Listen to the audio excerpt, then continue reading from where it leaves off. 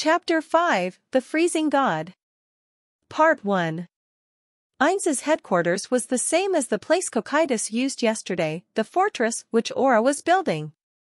If one listened closely, one could hear the faint sounds of work in progress coming from the distance. Once they entered the room, the hitherto silent victim suddenly spoke to Ainz. Emo Nyag Mi, Sayag Boy Works. Then, I shall take my leave now, Ein Sama. Thank you for your hard work. Please take care of Nazarick's first floor for me before we get back. Kek Easyarb. Understood. Gate.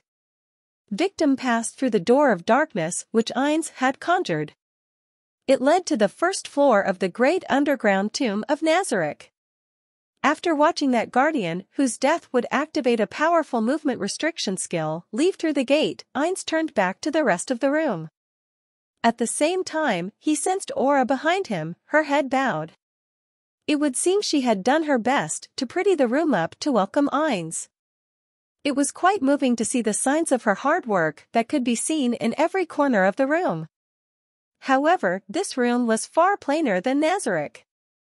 Perhaps Aura felt ashamed of that. It's not like it's that bad. Ainz had originally been a plebeian, so he did not really mind. While his room as the master of Nazarick was not a bad thing, sometimes excessive luxury made him feel uncomfortable. He could relax a little in this place, so it was pretty good. I want an eight tatami room. Maybe I should secretly set one up somewhere. Ah, I need to reward my subordinates. I need to tell Aura that I'm pleased with her hard work. People had to thank and rely on others for their hard work in order to succeed. Ainz remembered when he had been running an errand at a certain company and had overheard something from the director's room. He did not know who had said it, but it was a truly wonderful line. It made him think that it was how an ideal superior should be. You need to express the gratitude in your heart. If you don't praise your people, they won't work, something like that. Forgive me for keeping you here, Aura. I am not displeased in the slightest. I am very satisfied with your hard work and it is the equivalent of Nazarick because you decorated it for me. Yes. Aura's eyes widened slightly. Ainz did not know if that counted as comforting her, but he was out of ideas. All he could do was try and bluff his way through by looking around. The room still smelled of wood. Under normal circumstances, it would have been better to return to Nazarick than stay in this nearly indefensible place. That was because without the application of defensive spells, this location was little more than a house of papier-mâché. On the other hand, this was a very good spot to use oneself as bait to lure out a big fish. It was quite far from the lake, so anyone who could pursue them here, if there were any, would probably be an Yggdrasil player or people of comparable power to them. In other words, this place had been built to take the attack of a powerful opponent. It was dangerous, of course. But Ainz felt that one could not seize the tiger's cubs without entering its den. So they still haven't come. Or is it that this operation failed as well? Still, what is that? Aura, a question for you.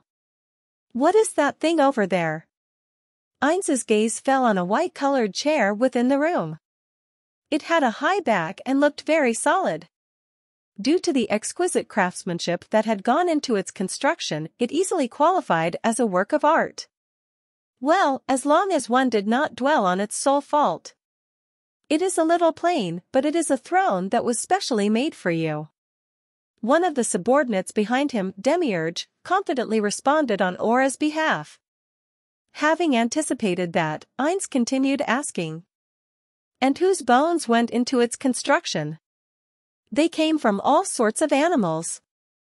I selected choice bones from griffins and wyverns. I see. Is that so?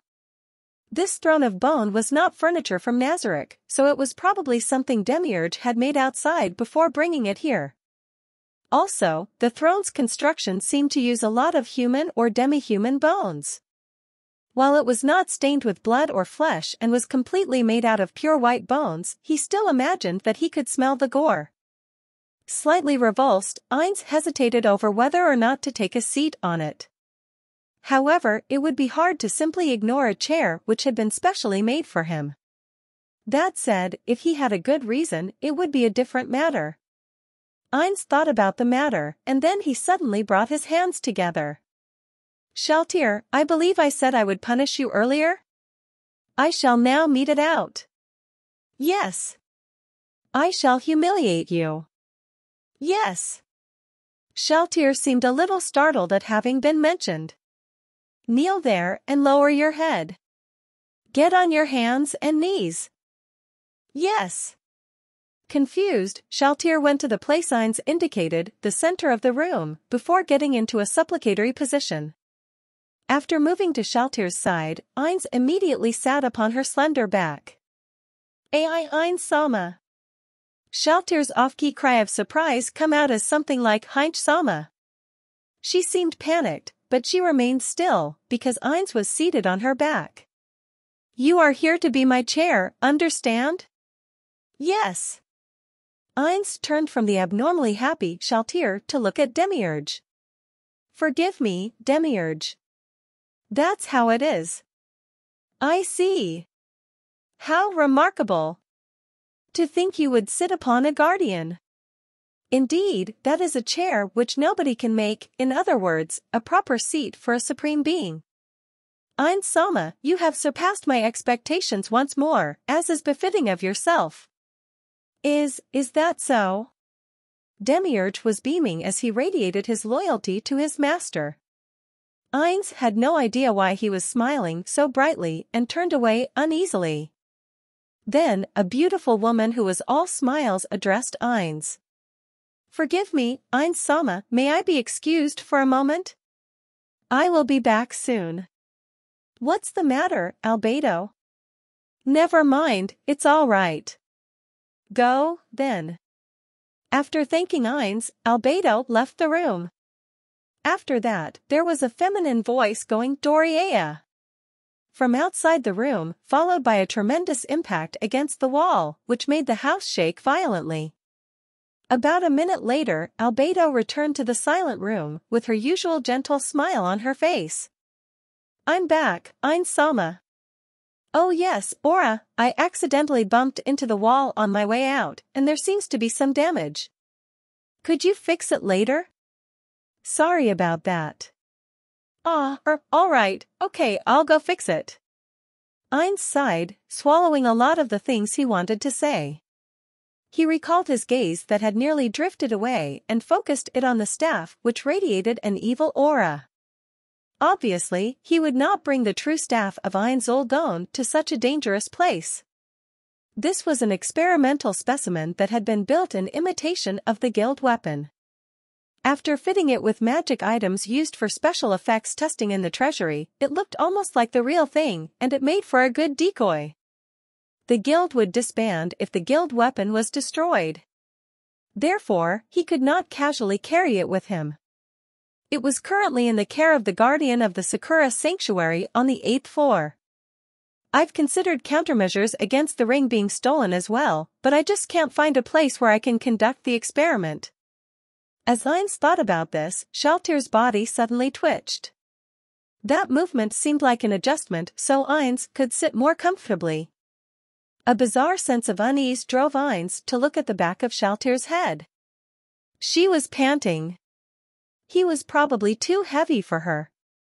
Shalltear's back that he sat upon was about as slender as that of a 14-year-old girl's and it was quite slender. To think an adult would be sitting on such a slender back.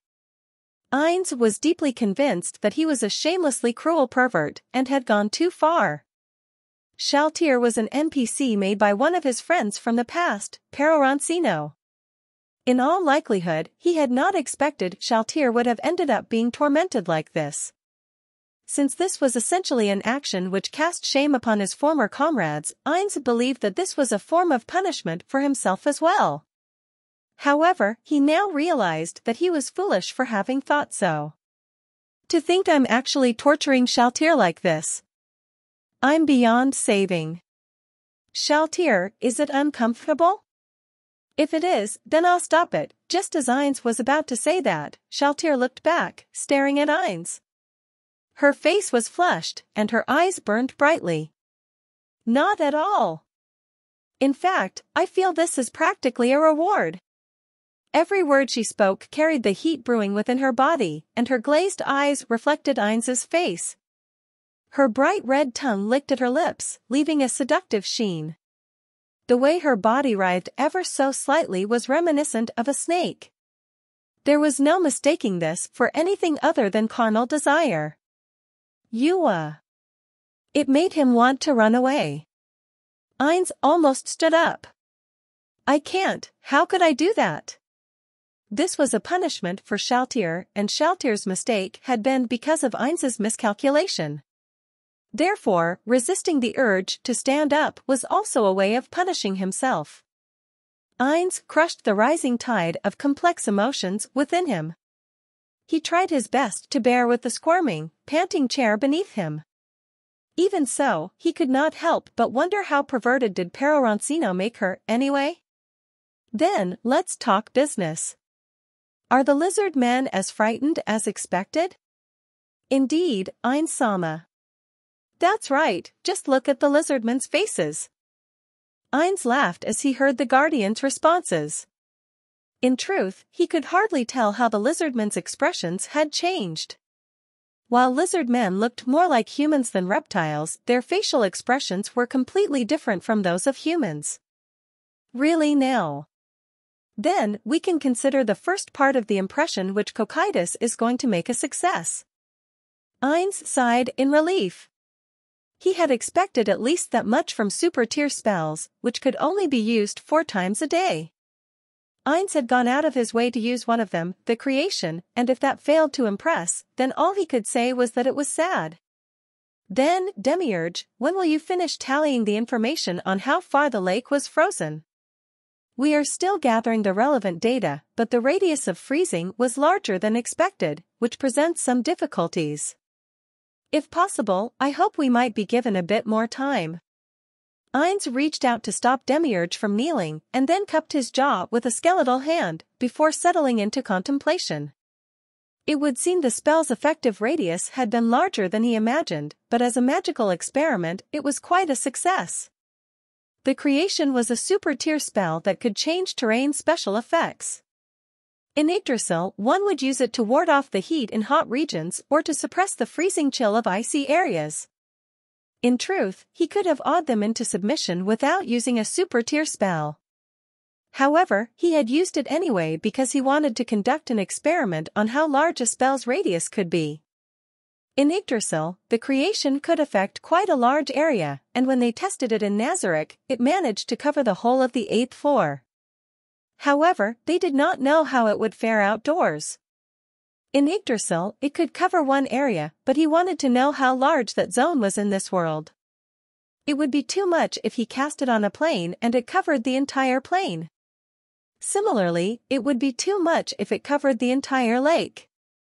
It would seem he had to be very careful when using super tier magic. Then, Aura, what about our security net? Yes. We've dispatched the undead we borrowed from you to patrol within a 2 kilometer radius, but we haven't picked up any exceptional intrusions. Also, I've sent out some of my magical beasts who are adept at reconnaissance to patrol a 4 kilometer radius around us, but there haven't been reports of anything suspicious so far. Is that so? Our foe might make their approach by some perfectly undetectable means. Have you prepared against that yet? It'll be fine. Shalltear was helping me out, so we've also deployed Undead which are good at surveillance. Very good. Aura was all smiles after Ainz's praise. Her previous depression was nowhere to be seen. Still, has the person who used the world-class item on Shalltear still not made a move even after we've exposed ourselves like this? All eyes were on Ainz as he asked that question again, but he was not directing it at anyone in particular. Why isn't the opposition spying on this place and Nazarick? Could it be that the enemy is keeping an eye on us with a world-class item which renders him immune to regular surveillance? Ainz tilted his head in confusion after Demiurge answered with his question.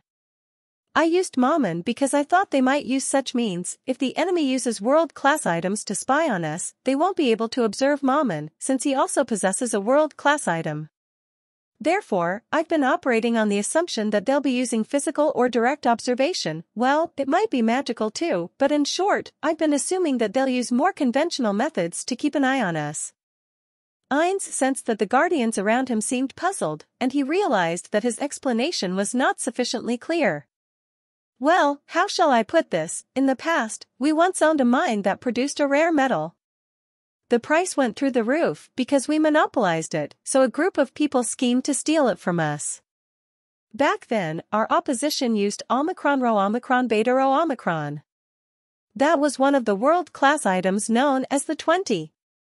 Translator's note, Ouroboros. Ainz narrowed his eyes.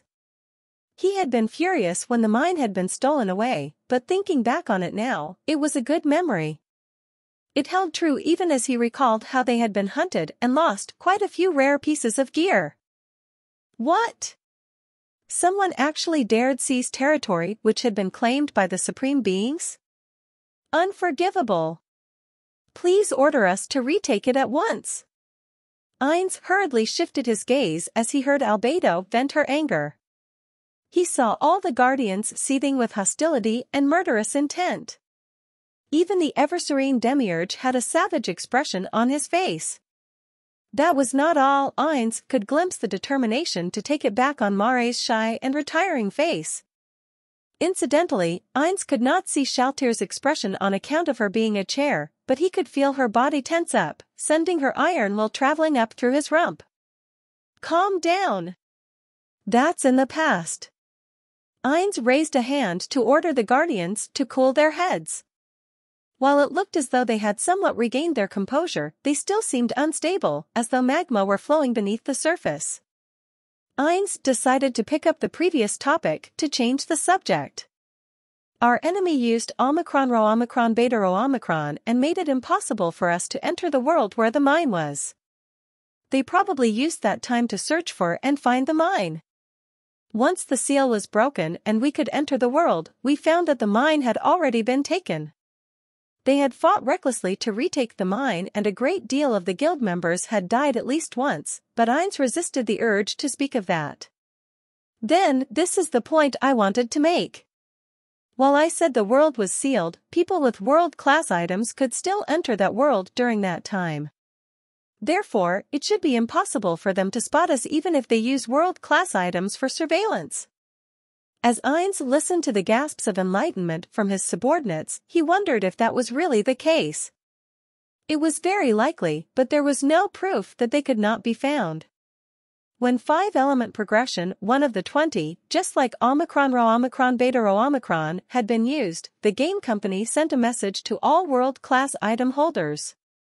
In addition to an apology, they also included an item as compensation. The apology went, Dear holders of world-class items, you should not have been affected by changes in the world, but we have learned that keeping your data unaffected will be a very difficult task for the system. Therefore, we are making a special exception and changing your data as well. Therefore, he could not conclude that it was a perfect defense. Still, that incident had been a special case. In particular, one of the world-class items defending Nazarick had the effect of protecting against divination spells. If it could not block surveillance from world-class items, then it would be meaningless. Therefore, I feel the enemy will try to approach Momon, but the ones who have come to him are all mothers clutching their newborn children or adventurers. The ones who came forward begged him to touch their children's heads in the hope that they would grow up strong, or they asked to shake hands with him in the hopes of becoming stronger themselves. None of them had asked to speak with him in private. Therefore, Ainz had created many openings like this on purpose, waiting for the enemy to make a move. Not giving Cocytus a world-class item was part of that plan. Ainz intended to use him as bait to draw out the opposition. Their foe was fearsome precisely because he did not know their identity. That being the case, learning about their opponent would probably help them find a way to deal with them. May I share my humble opinion on this matter? What is it, Albedo? Ein Soma, as you have said just now, your aim is to divine the enemy's identity and learn more about them. In that case, is it not possible that the enemy is unwilling to get close because they have not been exposed yet? Ah. It, it's fine, Albedo.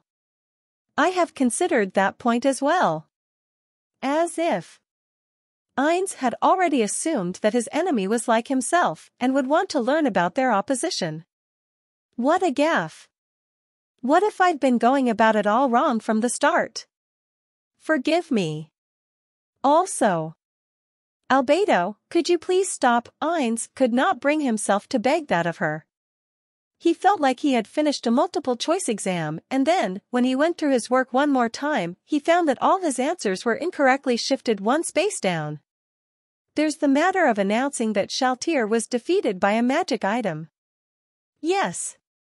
I reported as much to the guild. That was in order to avoid people fearing Momon's strength. Spell sealing crystals are extremely rare items, so breaking one for an experiment should be difficult. Therefore, saying that the spell sealing crystal went out of control, that the monster was defeated through the use of a magic item is more convincing and it means fewer people will be on guard against Momon. Indeed, it is as you say. It would work well against people who think spell sealing crystals are rare items. Albedo's subtle qualification of her statement made Ainz feel very uneasy. However, what if our enemy had multiple such crystals like yourself, Ainz Sama? Hum? Ah, so that's what you mean. Ainz put on a show of sudden realization, but he had no idea what she meant. So what if the opposition had many spell-sealing crystals? The fact was that they were very valuable items in this world. Was Albedo worried that someone would break a crystal as an experiment? Still, it did not feel like that. A sense of foreboding filled Ainz's heart. He wanted Albedo to explain herself, but he resented having the pretense of knowledge he had put on just now. Come to think of it, is it really all right if I act as a ruler and decide the direction of Nazarick? What if I end up steering us into an iceberg? He wanted to run away from all of this and be done with it. Unable to bear the strain of leadership, which was only amplified when he messed up, he wept within his soul. However, he could not just run off. Since he had called himself Ein he could not abandon the things, the NPCs and the treasures of Nazarick that his friends had made. The most important thing was that he did not want to become a deadbeat father. I sometimes worry if you'll betray, abandon, or give up on me. However, that just means I have to be the Ainz Ooal Gown you expect and believe in. Therefore, Ainz put on a confident front, the pose of a ruler with utmost confidence in himself, which he had practiced in the mirror. It's fine. However, I understand your unease. Then, Ainz looked around. Albedo, share your worries with the other guardians. Ah, yes. If the opposition possesses multiple crystals like you do, Ein Sama, anyone who knows their abilities will probably see through that news immediately. In other words, they will believe that Shalltear was not defeated by the crystal. Although the enemy might not know if Shalltear fought with all her strength, anyone with a world-class item would probably think that Shalltear and Momon were of equivalent strength. Therefore, they would probably consider Momon, a mysterious warrior who suddenly appeared in E-Rantel, a threat, no? In addition, the opposition might also suspect something about the link between Shalltear and Momon. Albedo, and the Guardians. What do you think the enemy will do next? Permit me to answer, then. I feel that if our enemy intends to oppose you, Ein Sama, they will respond by spreading rumors of Momon and the vampire being in league with each other, even if there is no basis to them, and lash out at him. Our opposition will surely not want Momon to become more and more famous. Oa, Ainz groaned internally. His original aim of going to E-Rantel was to gather information, but his main objective was to make the character Momon famous, that, and he also wanted to get away from all this. The original plan was to turn Momon into a great hero and then reveal his true identity, whereupon the fame and glory he had accumulated would be transferred to Ainz Ooal Gown and resound throughout the world. In addition, it would also serve to show that a former PK guild had changed its image, fighting injustice through the name of Momon. But now, those plans were little more than soap bubbles vanishing in the wind. Oh! Demiurge, I've got a question. Wouldn't it be more damaging to spread the rumors of working with that vampire after he became famous? Aura, uh, doing so at that time would be a poor move. Once Ainz Sama is sufficiently famous, people would discount those rumors as malicious gossip. That reputation must be eliminated before it grows and becomes widespread. A very astute observation, Demiurge. Ainz nodded magnanimously in response to Demiurge's bow, as though he had been thinking the same thing as well. Then, I have another question. If that is the case, why has the enemy not spread these rumors yet? Demiurge raised a finger after hearing Ainz's question. Firstly, the enemy has not completed their investigation into Momon Sama. If it turned out that Momon Sama defeated Shalltear in open combat, they would wish to avoid incurring his ire, or perhaps they would like to recruit him to their side. Secondly, he raised another finger. What if the opposition only ran into Shalltear by chance? Or what if they encountered her on the way to another objective and they were a completely unrelated third party? That's not possible now, is it, Demiurge? How unlikely would that be? Ainz said that, but in his heart, he realized that it was not impossible. He was dead set on the idea that this was an attack targeted at Shalltear, or the personnel of the great underground tomb of Nazarick. However, Shalltear had been attacked shortly after they had all been brought to this new world. Under those circumstances, it would require preternatural precision to target and attack Shalltear. Was he being overly paranoid of some hidden mastermind? Ainz narrowed his eyes, the points of red light in his eye sockets. Ultimately, the lack of information remained a problem. He did not have enough manpower and he needed more strength. In any case, the biggest problem right now is our lack of an intelligence gathering network. Currently, he had ordered Sebas to handle this sort of work. However, there was a limit to how much intelligence that limited numbers of intelligence personnel could gather. At first, he had only wanted to learn the basic facts of this world, but they were now at a stage where such information was no longer sufficient. They could not learn what they wanted to know by going through adventurers and traders alone. It was similar to how an average citizen and a high-ranking government official had access to information of differing importance. In addition, he had no idea what sort of person could analyze the data they had gathered and determine whether or not any particular piece of information was important. Good grief. In any case, our main challenge now is a lack of information. Our hands are tied because we have to be wary of an unseen foe. Demiurge flashed Ainz a conspiratorial smile as he heard Ainz mumble. In that case, why not seek a nation to support you? After a brief silence, Albedo went O to indicate that she understood. Soon, Ainz made the same noise. I see, Demiurge. So that was what you meant. However, the other three guardians still looked quite confused. After that, Aura came out and asked. Ainz Sama, what's this all about? As Aura asked that question, Ainz gave thanks that he did not have any facial expressions. Honestly. Mare, Shalltear, do you not understand what Demiurge was trying to say? The two of them shook their heads in unison. I see. Then it can't be helped.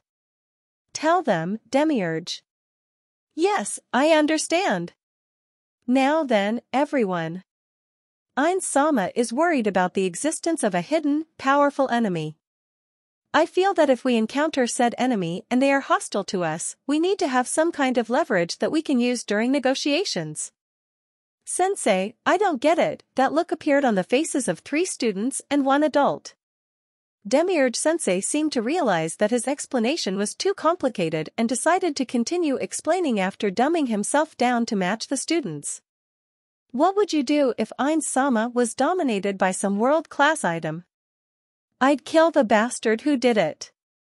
No, that's not what I mean, Aura. What I'm trying to say is, don't you think the very fact that being mind-controlled would count as an alibi? The fact is that there are people out there who really can dominate their opposition with world-class items, so we can convincingly say that Ein Sama was controlled by a world-class item. Assistant teacher Albedo supplemented head teacher Demiurge's lecture. In other words, by pretending to support another country, we have an excuse for any action which Nazarick takes. By saying that we were ordered to do so by that country and we had no choice but to obey, we could use that to deflect blame from ourselves, assuming there was an enemy on our level. Also, if the other party does not want an open conflict, they will have no choice but to bear with it. I see, so even if someone wasn't happy with what we did, as long as we had a good reason, we could drag a third party into becoming an ally, so that's what it is, as expected of Ainz Sama. Ainz reached out and stroked the head of Shalltear the chair. It was like a mob boss stroking a Siamese cat. Demiurge came up with that scheme, not me, so your thanks should go to him. No, it's not true. It would seem you already came to the same answer, Ainz Sama. Ah, er, um. It feels like I'm taking credit for your hard work. Sorry about that. Also, I believe it will be easier to obtain information if we support another country. A country would probably have the intelligence gathering network that they were struggling to build. That being the case, infiltrating them with Nazarick's people ought to be much better for gathering usable information. Demiurge smiled at the thought that his suggestion had been useful on something which had bothered Ainz, and at Ainz's words, which seemed to validate his and Albedo's opinions. Indeed. Ainz was aware of the subtext, you picked up on it as well, Ainz Sama.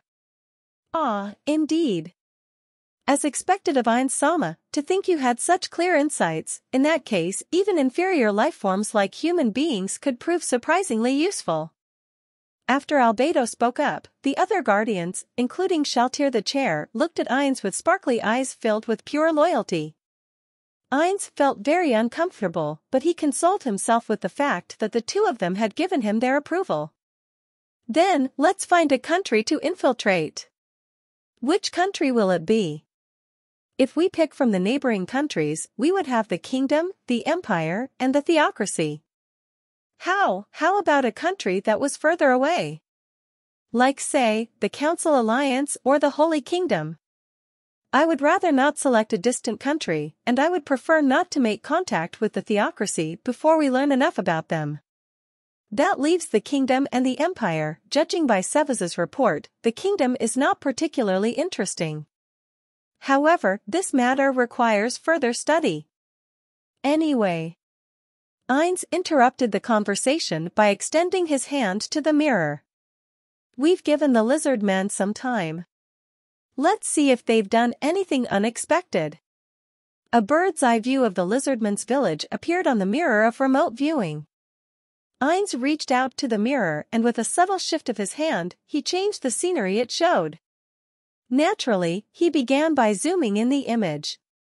In this way, they could see every detail of the lizardman's preparations for battle. Such futile effort, Demiurge muttered gently to the lizard men. Let's see, where are they? It's hard to tell one lizard man from another. Ainz frowned as he searched for the six lizard men he had seen earlier. Oh, there's the armor. Is this the rock-throwing fellow? And then, the one with the greatsword is here. The differences are really fine. Maybe color, gear, or obvious physical variations would be good ways to tell them apart. Ah, there's a distinctive one. After that, Ainz moved the mirror's image around in confusion. I don't see that white lizard man and the one with a magic weapon. Hum, is his name Zaryusu? Ah, that's right, that's his name. After Aura reminded him, Ainz remembered the name of the lizard man who had stepped forward to negotiate with him. Could he be in his house? Perhaps.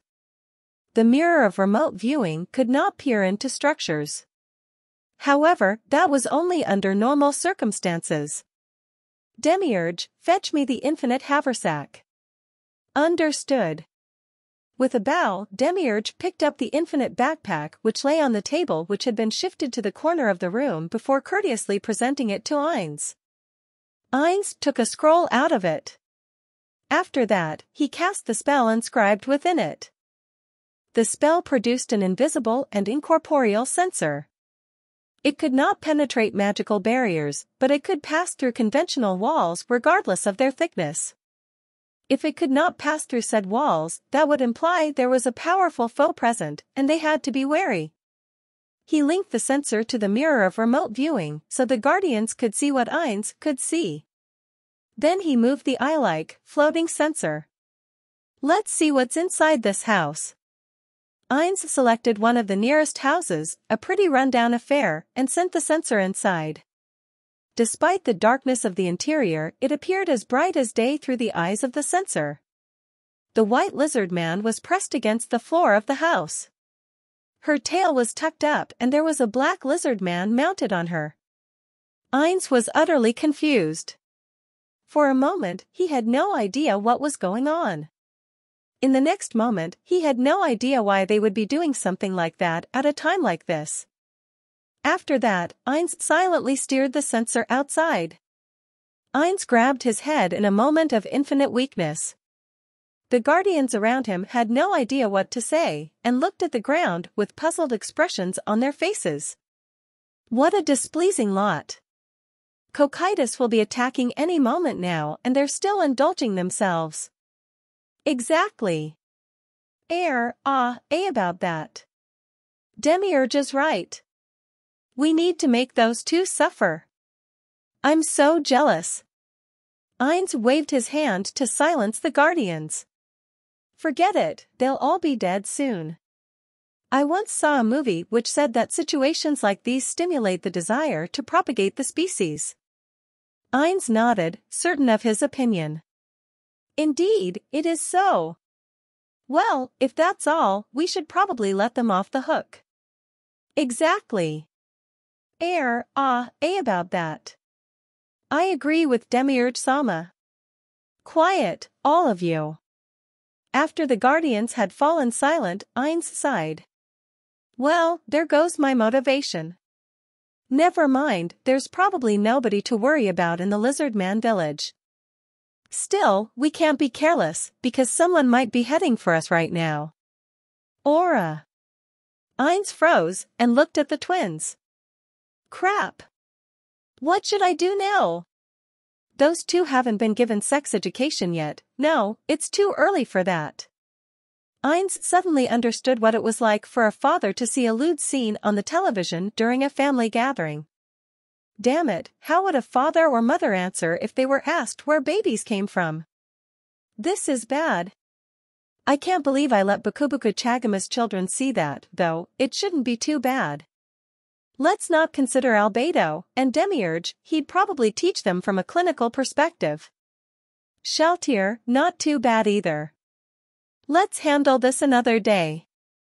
After pushing the question to the back of his mind, Ainz coughed and asked. If the security net picks up anything, all the guardians, myself included, will move out together. If there were any other players around, he would not adhere to his agreement of sparing the lizard men. If they would not become allies then they would have to be terminated with extreme prejudice to avoid any information leaks. When they happened, they would destroy the village even if they had to draw on all the forces of the eighth floor to do so. Ainz thrust aside the guilt he felt at violating his promise to Cocytus. A little white lie would be preferable if it was for a good reason. Now then, the show's about to begin, let's enjoy watching Cocytus in action. Part 2 The four hours passed in a flash.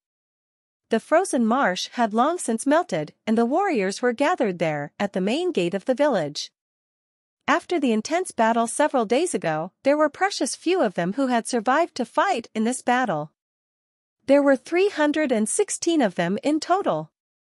Nobody but the warriors would participate in this battle because Shasuryu had said, the enemy is few in number, so too many people on our part will just get in the way. That seemed like a logical enough explanation, but that was not all. Zaryusu stood some distance ahead of the lizard men and looked on the warriors. Everyone was painted with markings which showed that the ancestors had descended upon them. Their iron will was readily apparent on their faces, and they looked confident of victory. The lizard men around them were cheering their warriors on. Still, he could see quite a few worried-looking people in the crowd. Zaryusu strove to keep a nonchalant expression in order to keep his uneasiness from showing on his face. He did not want the other lizard men to know that this battle was essentially a live sacrifice to the King of Death. Indeed, this was a battle that was intended to demonstrate the undead king's power to the lizard men. Its purpose was to thoroughly eradicate the very possibility of rebellion among the lizard men. They had no chance of surviving, which meant that the subtext behind Shasuryu's words was so that we can reduce casualties to the minimum. Zaryusu looked away from the lizard men, and he turned his keen gaze on the enemy formation. The skeletal army remained where it was. There was no sign of the monster called Cocytus among them. Zaryusu doubted that it was a skeleton. As a trusted subordinate of that king of death, how could he be a mook like that? He must be some being whose strength was apparent at a glance. A loud splashing came from behind the worried Zaryusu. Hey, Zaryusu! And Zenberu greeted him as casually as always. He was the same person even when he was headed for certain death. Morale's at its peak. Well, it would be nice if it could stay that way when we face that Cocytus fellow. Yup. Oh, is it time? Shasuryu was at the main gate, and all the lizardman's eyes were on the two swamp elementals by his side. Crusch was not here because she had spent all her mana on summoning the elementals. The drain of that, on top of casting a plethora of long-duration defensive spells on Zaryusu, had left her almost immobile. In fact, when they had left their house, Crusch had already told him that she would be passing out from using too much mana, and they would never see each other again. Alone now, Zaryusu looked towards the place where Crusch was. The way she had looked when they had parted made Zaryusu feel like he had been stabbed in the heart. Warriors, let's go! With a rousing cry, Shasuryu stoked the flames of the lizardman's fighting spirit, and the air was filled with eager tension. He had to think like a warrior again. Zaryusu reigned in his rampaging thoughts. The lizard men advanced slowly, led by Shasuryu and the two swamp elementals. They were leaving the village so it would not be caught up in the fighting. Zaryusu and Zenburu followed behind them. Just then, Zaryusu suddenly looked back to the village. There were the broken-down dirt walls, the worried lizard men watching them go, and... Zaryusu sighed quietly and cast all his worries away as he strode forward. He did not speak the name of the female which was on his lips. The lizard men marched into the marsh and formed up at the region between the skeletal army and the village. That said, they had no formation to speak of. They simply sprawled themselves out to wait for the fight. At their head were the various tribal chiefs and the two swamp elementals. The skeletal army had probably been waiting for their arrival. They banged on their shields and stomped. The many small delays between footfalls would normally make an army's march sound like a shower of bird droppings. However, the undead army marched with perfect coordination, producing a harmonious sound. If the circumstances were any different, it would be worthy of applause. Just as the lizard men were drawn in by the sound of their movements, several trees fell, behind the skeletal army. There was only one reason why those gigantic trees would fall, because someone had cut them down. This sparked a commotion among the lizard men. Since nobody was visible yet, it was reasonable to assume that several people had worked together to fell those trees. However, if that were the case, then the trees were falling with far too much uniformity. Granted, after seeing the unity of the skeletal army, an observer might think that they could chop down trees with such precision, but none of the lizard men felt that way. A bizarre thought ran through their minds that all this had been done by one person. That was because there was no sound of blades striking wood before the trees fell. In other words, it might be possible, however surprising it was, that some incredibly strong person had chopped the trees down with one swing. How strong an arm and how mighty a weapon would be needed to cut a massive tree in half with a single stroke? The earth-shaking tremors of the falling trees blended with the sound of the skeletons pounding on their shields, and both crept closer to the lizard men. Anxiety began to brew. That was only to be expected, who could remain calm under such circumstances? Even Zenberu, who was prepared to die, was shaken, though he tried to hide it. Soon, the creature which had cleaved a path through the forest finally appeared. At the same time, the pounding on the shield suddenly stopped. In the preternatural silence, the first thing they saw was a mass of glossy blue light. How much more brightly would it have shone had the sky not been overcast? It looked like a two-legged insect, its massive body standing around 250 centimeters high. It resembled an ant or a mantis, and it looked like some hybrid made by an utterly depraved fiend. Its hard exoskeleton was wreathed in freezing cold, and it glittered like diamond dust. It had a savage tail that was as long as its body and studded with countless spikes. Its mighty jaws looked like they could easily bite a man's hands clean off. It had four arms tipped in razor-sharp claws, each of which was sheathed in a shiny gauntlet. It wore a disc-like amulet on a golden necklace and platinum rings around its ankles. This was how the being of matchless might, follower of the King of Death, made its entrance. Was he Cocytus? Zarius's heart pounded. Unconsciously, his breathing had grown faster. None of the lizard men spoke. Everyone's attention was drawn to the monster that had shown itself, and they were so frightened that they could not tear their eyes away. They had begun backing away slowly without realizing it. Be they lizard-man warriors who had come in high spirits, or Zaryusu and the others who had come here prepared to die, all of them were shocked to the core by the appearance of this unimaginably powerful entity. I know the King of Death didn't use his full strength on us, but even so, I didn't expect the warrior he sent to fight in earnest to be so frightening.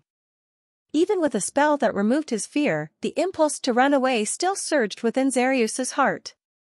It was a miracle that the warriors, who were not protected by such magic, were not already trampling each other as they fled.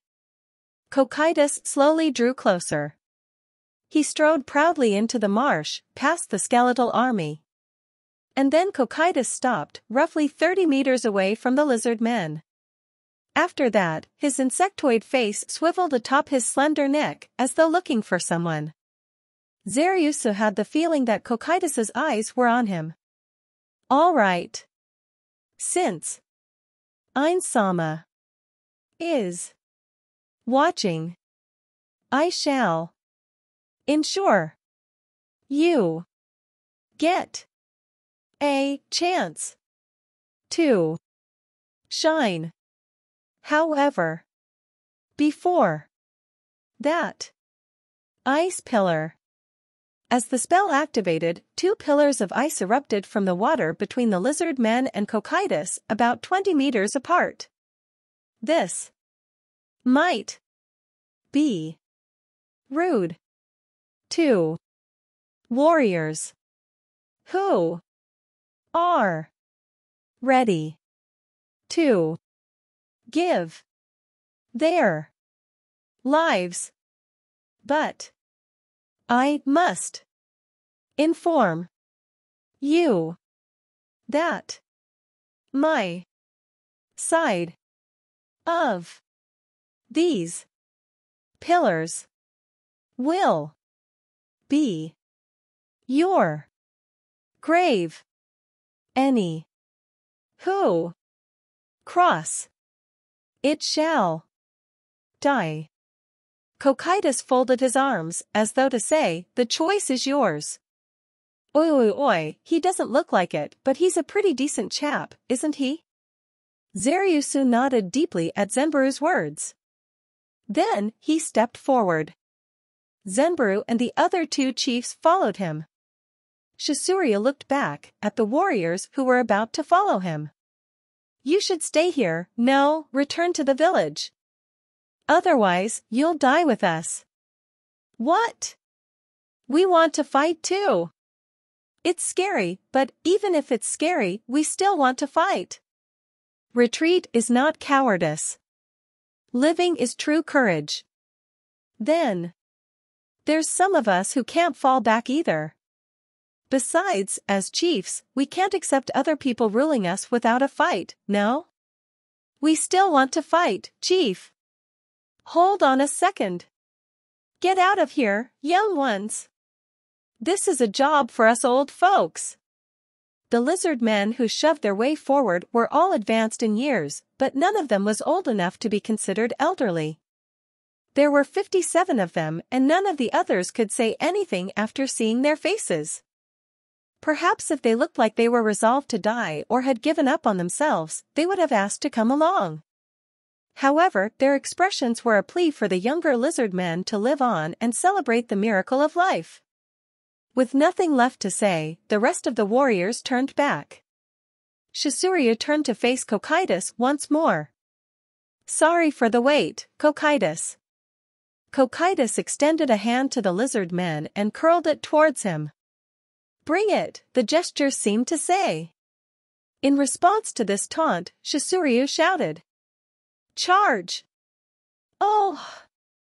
Fully resolved to die, the lizard men gave voice to a cry from the depths of their souls, a roar which seemed to split the very sky, and rushed at Cocytus.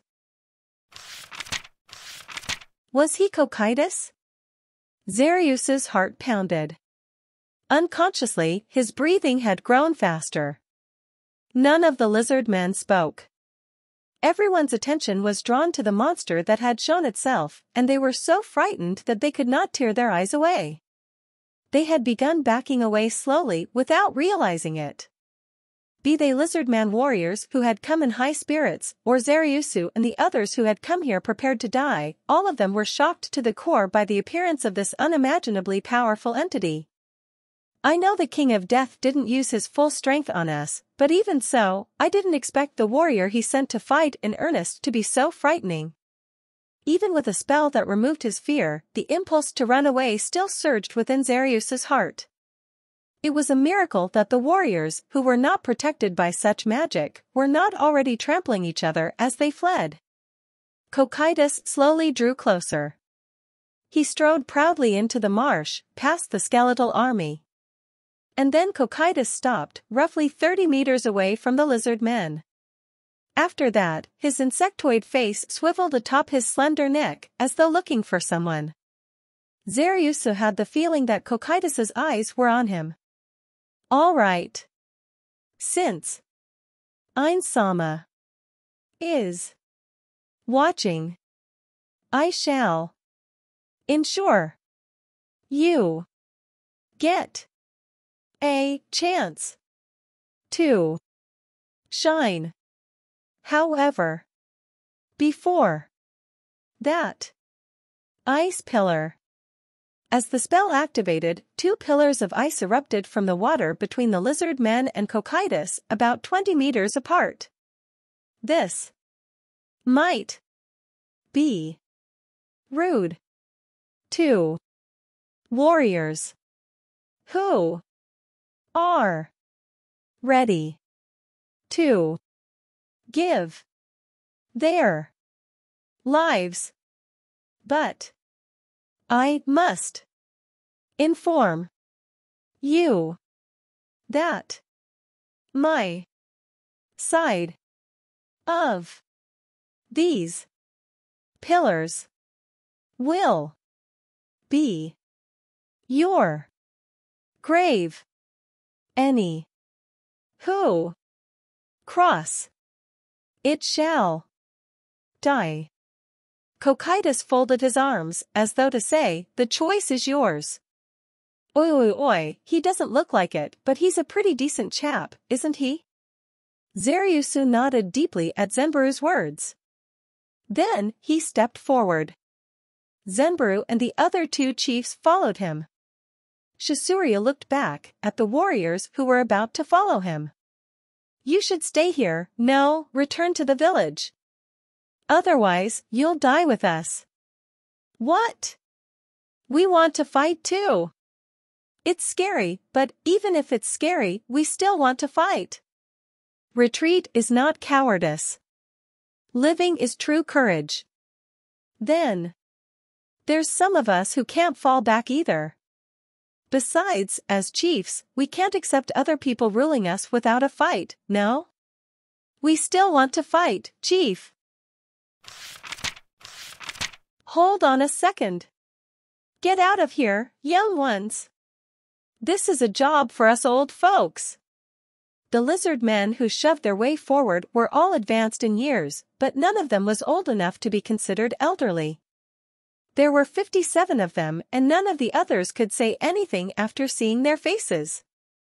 Perhaps if they looked like they were resolved to die or had given up on themselves, they would have asked to come along. However, their expressions were a plea for the younger lizard men to live on and celebrate the miracle of life. With nothing left to say, the rest of the warriors turned back. Shasuryu turned to face Cocytus once more. Sorry for the wait, Cocytus. Cocytus extended a hand to the lizard men and curled it towards him. Bring it, the gesture seemed to say. In response to this taunt, Shasuryu shouted. Charge! Oh! Fully resolved to die, the lizard men gave voice to a cry from the depths of their souls, a roar which seemed to split the very sky, and rushed at Cocytus. Cocytus calmly regarded the warriors charging him. This might be a bit disrespectful to warriors like you. But I shall cull your numbers. Cocytus was sure that he would not be defeated even if all of the warriors reached him, but still, he had to weed his opponents out. Personally speaking, Cocytus would have liked to allow his foes to reach a range where they could fight. However, he had received far more largesse than he deserved, and allowing this ragtag band of misfits to do battle with the guardian of the great underground tomb of Nazarick would be disrespectful to Ainz Sama. Thus, he unleashed his aura. It was a skill derived from the Knight of Niflheim class, Frost Aura. This special ability damaged and slowed the foe through the use of extreme cold temperatures. At full power, it could even engulf the lizard man spectating from the sides. So he had to suppress its power. He had to narrow its radius and reduce its damage. This ought to do it. A wave of freezing cold expanded from Cocytus, instantly filling a radius of 25 meters across. The temperature plummeted upon exposure to the intense cold, and the very air seemed to groan. Hum. That. Ought. To. Do. He drew back his aura. The momentary exposure meant that the savage, blizzard-like Snapfrost had vanished like it had never been. However, it was no illusion or trick of the senses. The best proof of that was the 57 lizardman corpses that covered the marsh. Only five more still remained. However, they were the five strongest lizard men. Unfazed by Cocytus's might or the deaths of their comrades, they moved out as one. A stone flew through the air. The armored lizard man led the charge, followed by two more behind it. In addition, the two swamp elementals had cracks all over them after the cold attack and lagged behind the lizard men because they were slower. The one at the rear incanted spell after spell. The first strike was a stone, which was aimed at Cocytus's throat. However, it was completely meaningless, because we, guardians, are equipped with items that resist ranged attacks. An invisible barrier which appeared to cover his body deflected the stone. It was followed by a charging lizard man. The armor he wore was an ancestral heirloom, one of the four treasures, the white dragon bone. It was strong enough to deflect frost pain, itself one of the four treasures, and it was hailed as the hardest armor among the lizard men. Facing it was a sword which Cocytus drew out of nothing, as though it had been sheathed in the air. The sword Cocytus unsheathed was an odachi, its blade over 180 centimeters long, named Godslaying slash Emperor. It was the sharpest of the 21 weapons which Cocytus possessed. Then, he swung it at the incoming lizard man. The fluid cut whooshed quietly through the air. If not for the present situation it would have been a sound which people would want to listen for. After that sound, the chief's body and his armor split into two halves from head to tail, which fell to the left and right, into the marsh. God-slaying slash emperor was unscathed despite cleaving through the strongest armor of the lizard men. The other two lizard men did not seem affected by the death of their comrade. They raised their weapons and executed a pincer attack. Ye art! On the right, Zenberu sent a karate chop at Cocytus's face, having enhanced it with iron natural weapon and iron skin. Glow! On the left was Frost Pain, stabbing at the belly. This attack was calculated to exploit the fact that long weapons were unwieldy in melee combat. Of course, that only applied to regular people. Cocytus shifted slightly and intercepted Zenberu's arm with the blade of God-slaying slash Emperor. His preternatural movements made it seem as though the weapon in his hand was an extension of his limbs. Zenberu's skin could rival the hardness of steel under the effects of iron skin, but the armor from just now had already proven the sharpness of Godslaying slash Emperor. The blade which entered Zenberu's arm carved it off like it was going through water. Geowarg! As Zenberu's severed right arm sprayed fresh arterial blood, Cocytus's other hand casually gripped Frost Pain, which was headed at his belly. Oh! I see. This is a pretty good sword. Wah! Zaryusu gave up on pulling back the immovable frost pain and immediately lashed out at Cocytus's knee with a kick. Cocytus did not dodge it, he simply took the blow. In the end, when Zaryusu's foot connected with Cocytus's knee, it was Zaryusu who felt the pain. It felt just like kicking an iron wall with all his might. Over magic mass light cure wounds. Through the use of prodigious amounts of mana, one could forcibly cast a spell that should not have been normally usable. Aided by this metamagic enhancement, Shasuryu cast a spell that healed everyone's wounds. Oh! Cocytus looked at Shasuryu with interest as the latter used a metamagic technique he had never heard of before. However, the two swamp elementals blocked his line of sight. While Zenberu's arm gradually resumed its original form, the two swamp elementals attacked Cocytus with their tentacles. However, Cocytus had already slashed at the swamp elementals' bodies. Just as the, the swamp elementals dissolved into clumps of mud, Zaryusu punched at Cocytus's compound eyes, his belly, and his chest. Naturally, it was Zaryusu who was hurt instead. The skin on his knuckles split and wept tears of fresh blood. How? Bothersome. Cocytus swatted at Zaryusu's chest with his spiked tail. Glorg! Zaryusu flew into the distance like he had been hit by a baseball bat, accompanied by the sound of cracking. In the end, he hit the marsh, rolling several times before coming to a halt. However, the agony in his chest and the bright red blood he was coughing up made it hard for Zaryusu to breathe. The broken ribs had probably pierced his lungs, because he could not take air in no matter how hard he tried to breathe. It felt as though he were in water.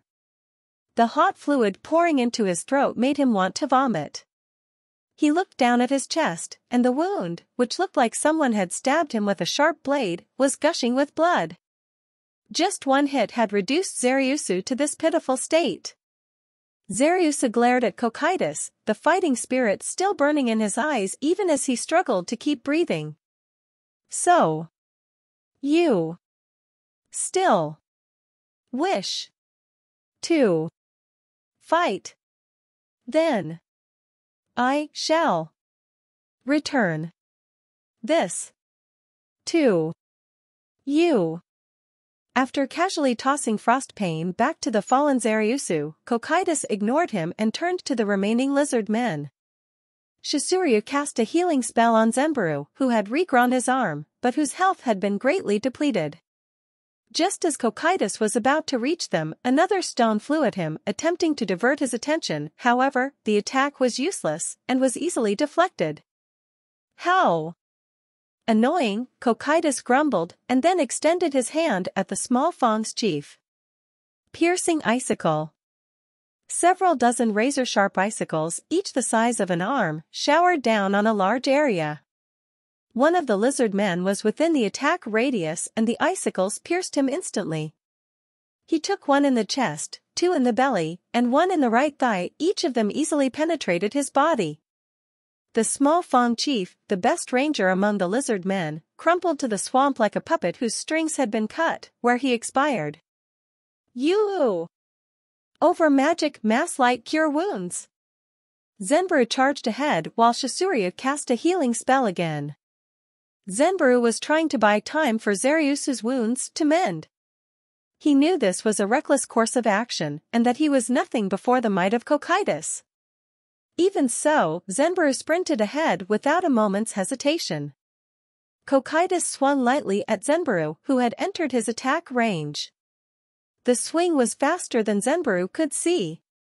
Its speed was beyond Zenberu's dexterity. The blade sheared easily through Zenberu's flesh. The decapitated corpse of Zenberu spurted blood like a geyser as it collapsed gently to the marshlands. Shortly after that, his head joined it on the sod. Now. Only. The. Two. Of. You. Are. Left. I had. Heard. Of. Your. Strength. From. Ainz Sama. But. In the and only the two of you remained. Cocytus, who had not moved so much as an inch since the battle had started, studied the two of them and flicked his sword. There was no trace of blood or fat on the gleaming white blade. That beautiful movement looked like it could sweep everything away in a single stroke. Facing it was Zaryusu, who had recovered to the point where he could barely stand, and Shasuryu, who had drawn his greatsword. The two of them flanked Cocytus front and rear.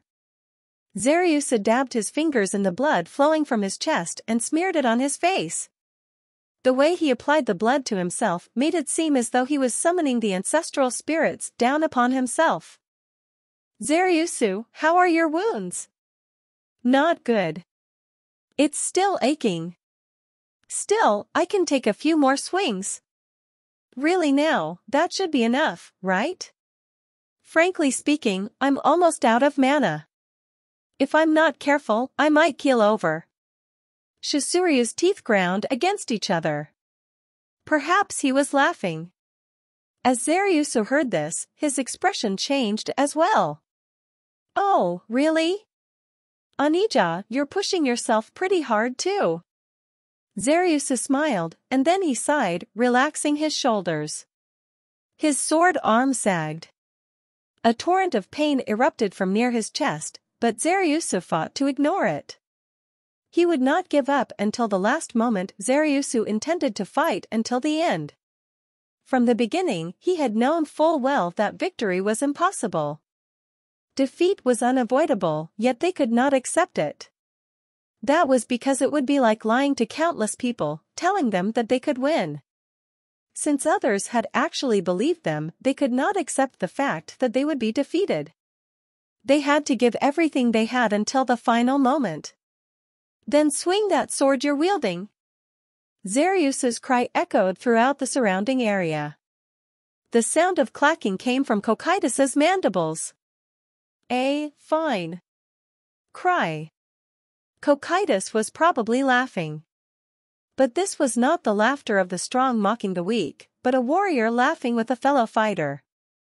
Very well, Zaryusu. That's it, then.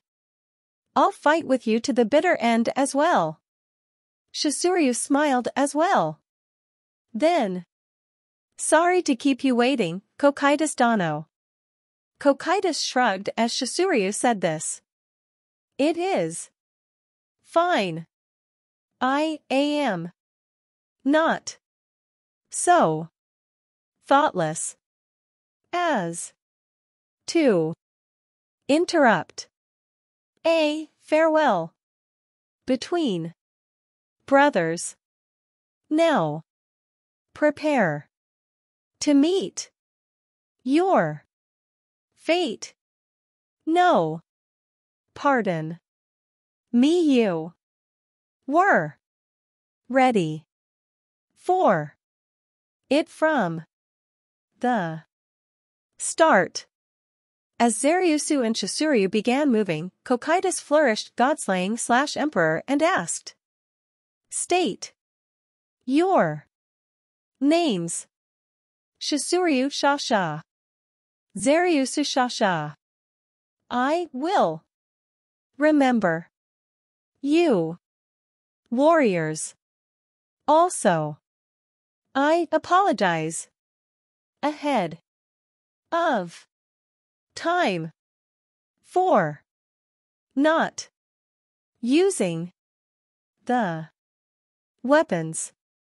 In. All. My. Hands. It is. Not. That. I wish. To. Scorn. You. But. You. Are. Simply. Not. Strong. Enough. To. Warrant. There. Use. What a shame. Indeed, here I come. The two of them lunged at Cocytus, splashing across the marsh. The uncoordinated timing of their attacks baffled Cocytus. The two of them did not enter his range at the same time. Shasuryu was the first to do so. Sensing a scheme, Cocytus awaited their next move. Since Shasuryu was the first to enter his strike zone, Cocytus carefully studied Shasuryu's next move.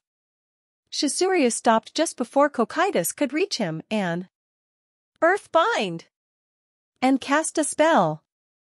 Countless chains formed of mud leapt at Cocytus, and Zaryusu broke into a wild sprint. He had even hidden frost pain behind his back so his opponent would not be able to gauge his attack range. Shasuryu's declaration that I'm almost out of mana was merely a ruse to deceive Cocytus. If he had taken the bait, perhaps he might have been bound by the mystic chains and been hit by Zaryusu's charge from behind. However tough their opponent's exoskeleton was, he should still be able to break through if he poured all his strength into the edge. With that in mind, Zaryusu had abandoned defense to focus on the attack, and the resulting strike should have been quite strong. He seems quite confident in his sword. Cocytus could understand how he felt, because much like him, Cocytus felt strongly about the weapons he owned. In particular, the sword he now wielded, which had once been used by his creator, was especially significant to him. Therefore, despite how lopsided it would make the battle, Cocytus insisted on doing battle with Godslaying slash Emperor in hand, as a sign of his supreme respect. However, they had made a miscalculation, which was that their opponent was Cocytus, guardian of the fifth floor of the great underground tomb of Nazarick. My defenses cannot be breached by someone whose level is below mine.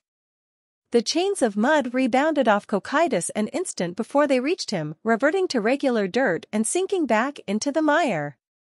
Low tier spells could not pierce Cocytus's magical defenses. Icy burst! As the shout rang out, a vortex of ivory fog swirled out and surrounded Cocytus. A futile effort. Cocytus was immune to cold damage, so as the gentle breeze of the supercooled mist blew around him, he patiently waited for Zaryusu and Shasuryu to enter his attack range. Soon enough, the moment he had been waiting for arrived. However, Cocytus hesitated briefly, he thought, can my foe be stopped just by cutting off his head? In the face of Zaryusu's full attack, Cocytus did not think that mere decapitation would stop his advance the mental image of a headless body rushing him appeared in his mind. In that case, he ought to chop his hands off first, and then his head. No, that wouldn't be clean enough. Best to finish him off in one stroke. Zaryusu charged with all his strength, devoting every fiber of his being to the attack, but he was still too slow for Cocytus. A black shadow appeared amidst the white mist, Zaryusu thrust his sword, and Cocytus caught it lightly between his fingers, like before. Cocytus did not feel any cold from his fingertips.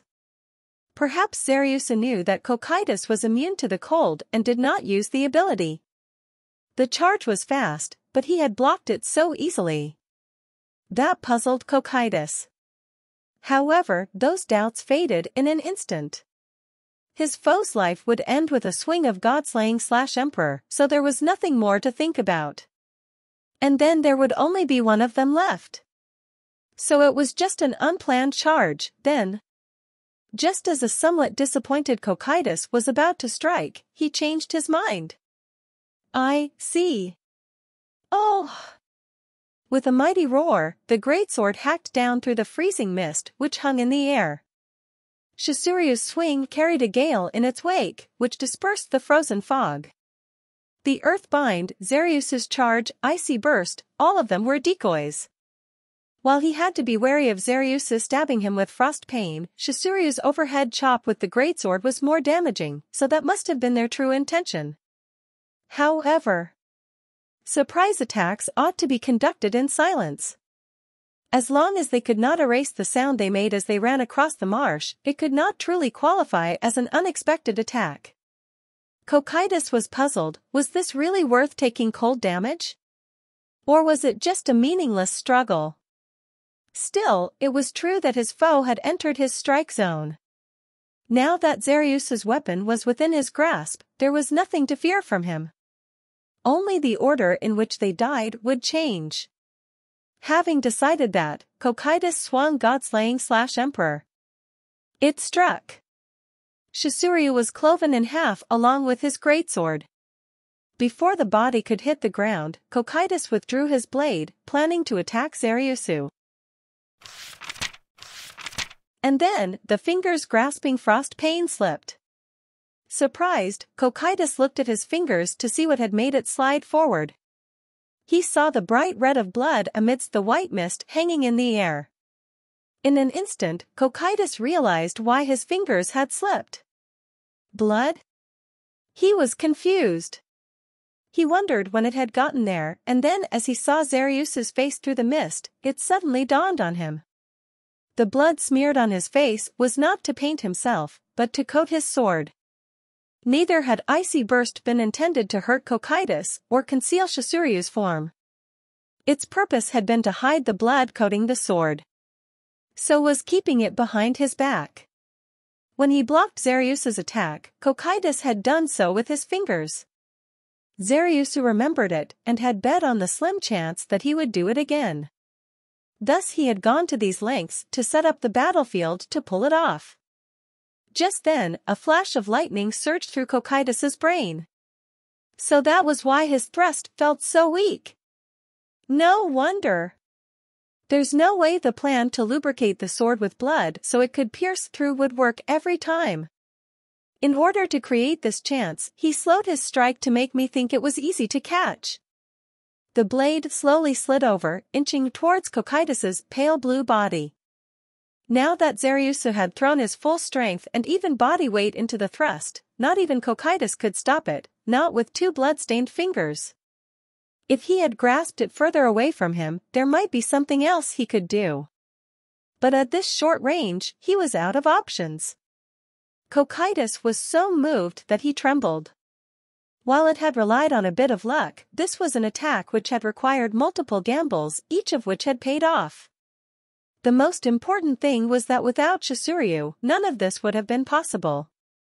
Shasuryu should not have understood Zaryusu's gambit, but as an elder brother, he had placed all his trust in his younger brother, to the point of sacrificing his own life.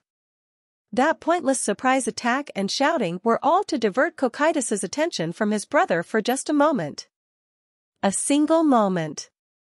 And for just a single moment, as Zaryusu was forcing frost pain at him with all his might, Cocytus's mandibles trembled.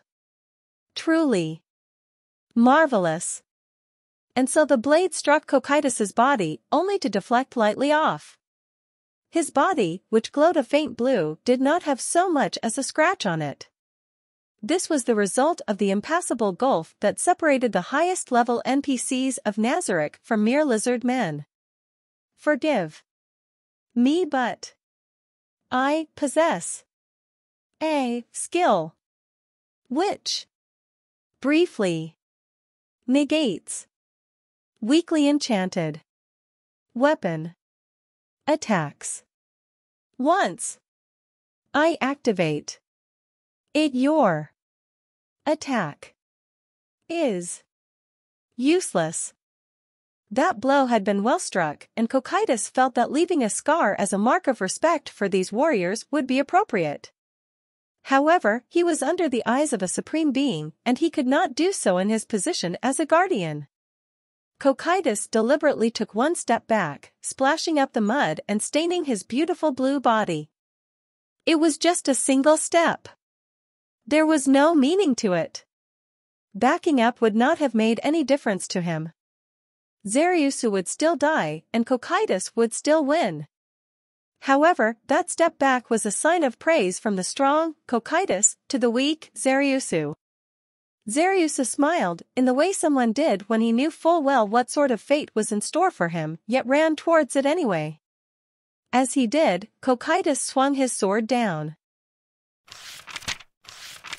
Part 3 that was a spectacular battle, Ainz said in praise to Cocytus, who was kneeling before him.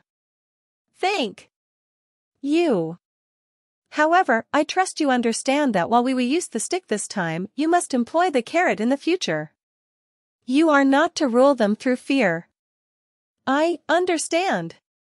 After Ainz nodded, he looked to the other guardians in the room. Very good. Now then, listen well, you guardians. Like I said earlier in the throne room, Cocytus will administer the Lizard Man village.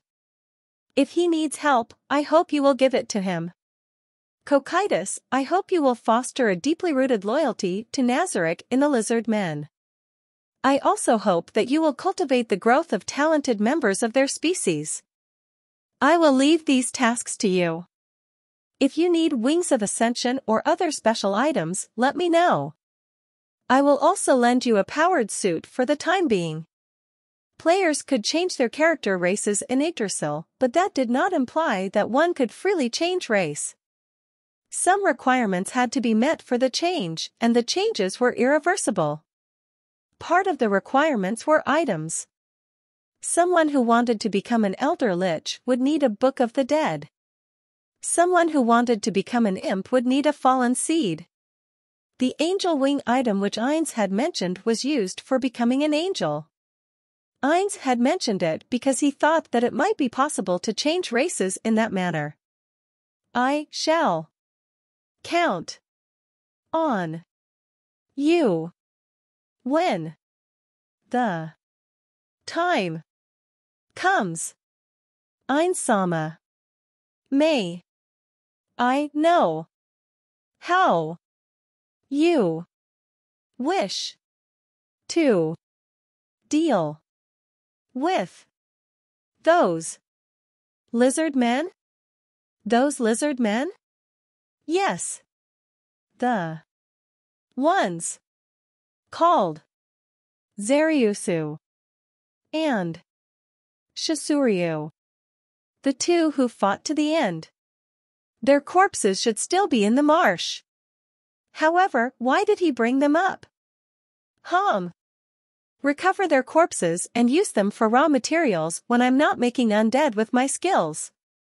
That would be a bit of a waste. Oh. Why is that? Are they that valuable? Ainz had watched the battle through the mirror of remote viewing and saw an overwhelming victory. Nothing about them recommended themselves to his eye. They might be weak. However, I saw their fearless warrior spirit turning them into raw materials is a bit of a waste. I feel that they could become stronger, perhaps even exceeding our expectations. Ainz Sama. I believe. You. Have. Not. Yet.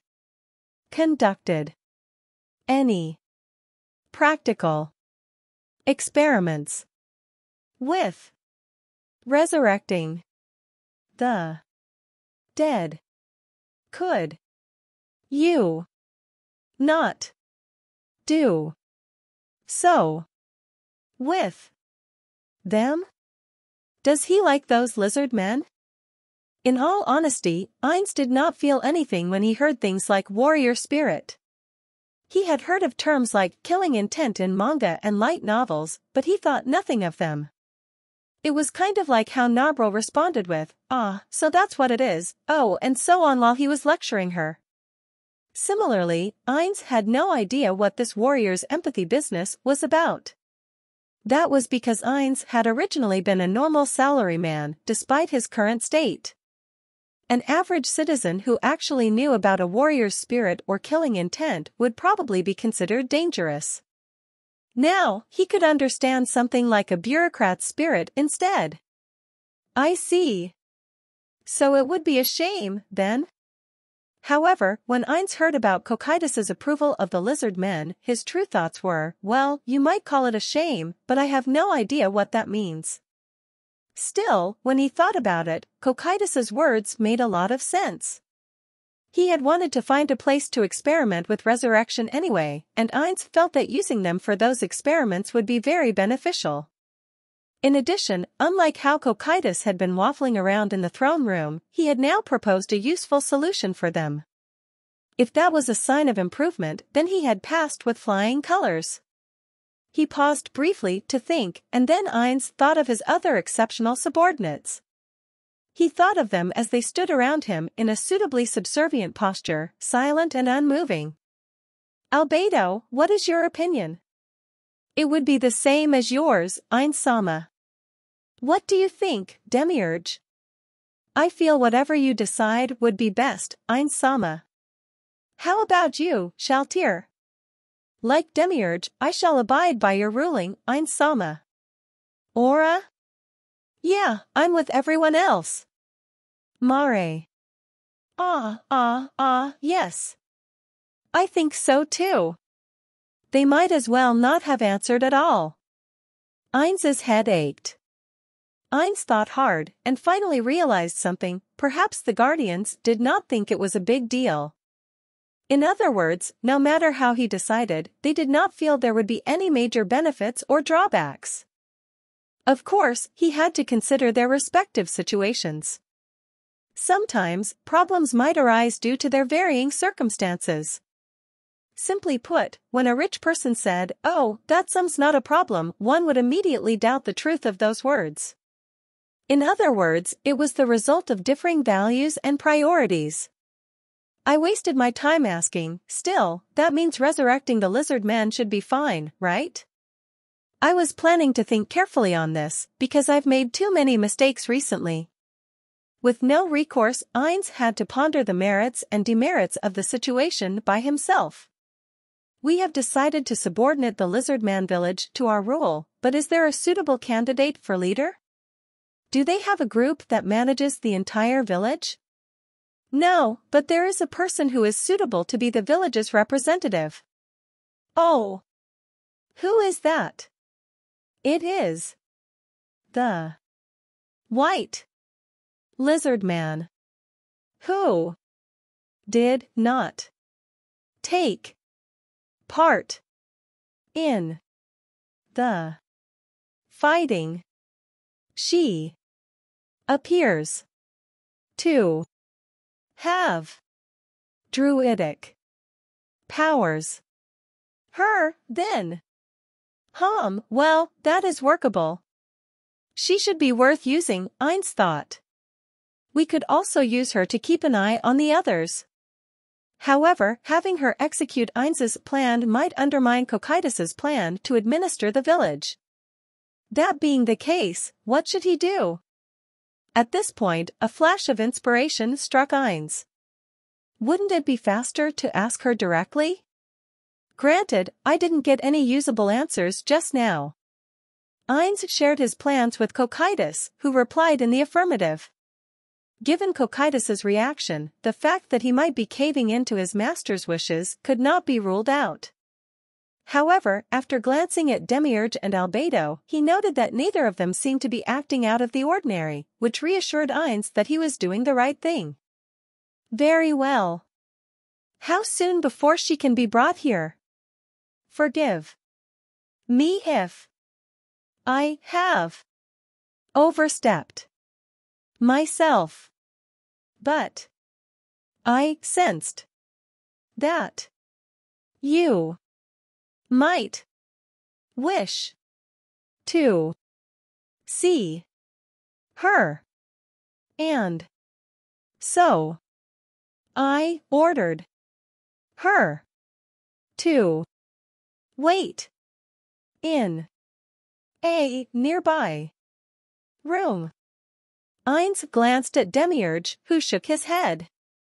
Nicely done indeed. He settled the matter without anyone's instructions and it doesn't look like someone else gave him the idea. Ainz wondered if this was how a superior felt when he saw his subordinate grow as a person. He was all smiles, although one could not tell his expression given that he was a skeleton. No no no, you've done well, Cocytus. Wasting time is foolish, and your judgment was correct. All right, bring her in, then. Ah, please wait. What's the matter, Aura? While they are not strangers, meeting them in an unremarkable place like this will damage your reputation, Ainz Sama. I feel you should receive her in Nazarick's throne room. The other guardians nodded, with the exception of Mare.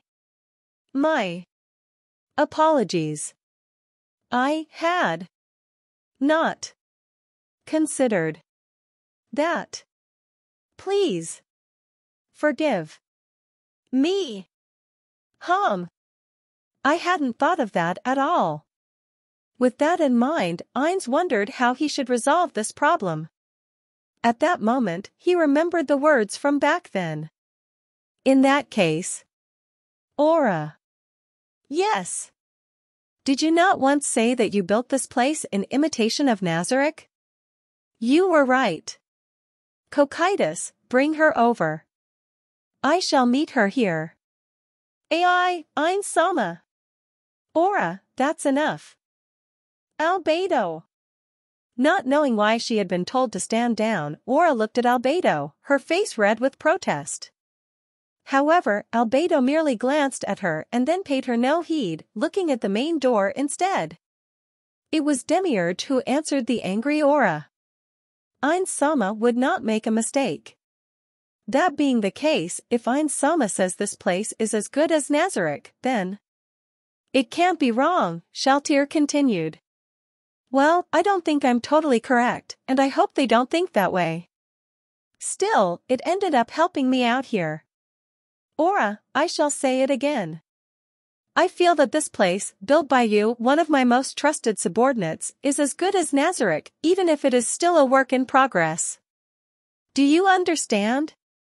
Thank you, Ainz Sama. Aura bowed in gratitude, and so did the other guardians. There's no need to be so moved, I guess. I feel so embarrassed now. In that case, bring her over, Cocytus. At once. Cocytus immediately brought the white lizard man to the room. She knelt with her head bowed before Ainz. What is your name? I am Crusch Lulu, representative of the lizard men, O supreme overlord of death, Ainz Ooal Gown Sama. Well, that's pretty far-fetched. Ainz wondered who had come up with that title, but in the end he decided to adopt the calm, poised attitude of a king. Mim, welcome. Thank you, Gaunsama. Please accept the utmost loyalty of we, the lizard men. Hum. Ainz studied Crusch carefully. These scales are beautiful. They glittered under the light of the magical lighting. I wonder how they'd feel, Ainz wondered out of curiosity. Just as Ainz lost himself in his thoughts, he realized that Crusch's shoulders were trembling. Cocytus should have disabled his cold emanating skills, so it was probably due to some other reason. As he thought on the matter, Ainz realized that her shuddering made perfect sense. If Ainz said that he was displeased with the lizard men, every single one of them would be deprived of their heads. Therefore, Crusch was hanging on to every word Ainz said. Given that she was jumpy and nervous as it was, Ainz's unnatural silence would have filled her with terror. Ainz was not the sort of person who amused himself by tormenting the weak. He could commit atrocities for the great underground tomb of Nazarick, but his mental state had not degraded to the point where he would perform such acts as part of daily life.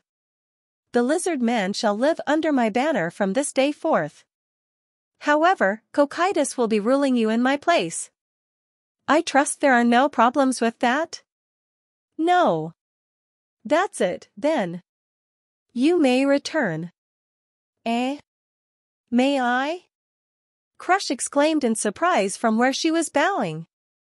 She had thought Ainz would demand the moon from her, so this utter betrayal of her expectations brought that reaction forth from her. You may go back for the time being, Crusch Lulu. The lizard men will soon enter a period of prosperity. Your future generations will give thanks with all their hearts that they were allowed to swear themselves to me. You are too kind. We are already deeply grateful for the mercy you have shown us despite our opposition to a supreme being like yourself. Ainz slowly rose from his throne and then approached Crusch. He knelt down and put a hand on her shoulder. Surprised, Crusch shuddered and the vibration traveled up Ainz's hand.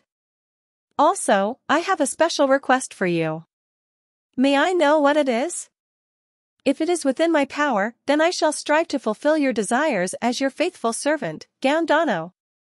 The idea was not originally mine, but if you agree, I shall restore Zaryusu to life in exchange. As he spoke the name he had heard from Cocytus, Crusch suddenly raised her head, the very picture of shock. Ainz smugly studied Crusch's face. She seemed to be trying to hide her feelings, but her expression changed by the moment.